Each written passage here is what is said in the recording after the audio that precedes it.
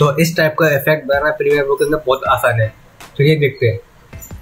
सबसे पहले हम लोगों को क्या करना है कि किसी कोई भी वीडियो लेनी है हम लोगों को, ठीक है? फिर हम लोगों को क्या करना है उसको यहाँ पर ट्रैक करना है टाइम लाइन के ऊपर। मैंने ऑलरेडी ट्रैक कर रखा है यहाँ पर, ठीक है? ड्रैग करने के बाद अब हमको क्या करना है सिंपल यहाँ पर जाना है, अपना जाना है ऑब्जेक्ट प्रोजेक्ट में जाना है।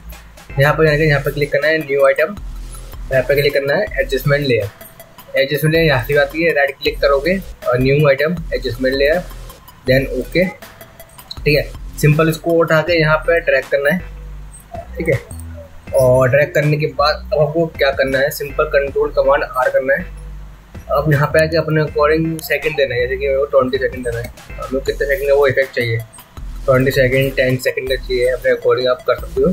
ठीक है सिंपल यहाँ पे हमने कर लिया। अब हमको जाना है इफेक्ट्स के अंदर। इफ़ेक्ट में जाने का यहाँ पे हमको क्लिक करना है। पुश सिंपल यहाँ पे ट्रैक किया हम लोगों ने। सिंपल अब हमको यहाँ पे क्लिक करना है। इफ़ेक्ट कंट्रोल में जाना है। और सिंपल यहाँ पे हमको ट्वेंटी सेकंड करना है। ट्वेंटी सेकंड हो गया। आप लोगों ने एडजस्ट कर लो। अब देखिए कुछ हिसाब से हाँ आ चुका है। ठीक है। अब हमको क्या करना है? सिंपल इफेक्ट्स में जाना है। डायरेक्शनल ब्लर सिंपल यहाँ पर ट्रैक किया एडजस्टमेंट लेयर के ऊपर इफ़ेक्ट कंट्रोल में जाना है। अगर डायरेक्शन डायरेक्शन देना है। डायरेक्शन मैंने दे रखा है नाइन्टी डायरेक्शन दे दिया और ब्लर लेन देनी। ब्लर लेन मैंने दे दी। ठीक है। मैं इसको वन ट्वेंटी करूँ ठीक है। सिंपल है, अब यहाँ पे क्लिक करो। अब प्ले कर देखो उसको ठीक है। तो इस से आपका इफ़ेक्ट बन जाएगा। ठीक है? अब आप सबसे कोई साउंड लगा लो। मैंने साउंड लगा रखा है साउंड कर रखा है ऑलरेडी तो मैंने साउंड दे रखा है। सिंपल होगा एंड साउंड सिंपल यहाँ साउंड को ट्रैक किया। और अब आप उसको प्ले कर देखिए। यहाँ पे। ठीक है? अब सेम चीज़ आप यहाँ पर भी कर सकते हो। सिंपल इसको आप ऑल्ट पर जाओ कॉपी कर लो। साउंड को कॉपी कर लो। सिंपल आप इसको आप क्या करना है, आपको यहाँ पर आते सिंपल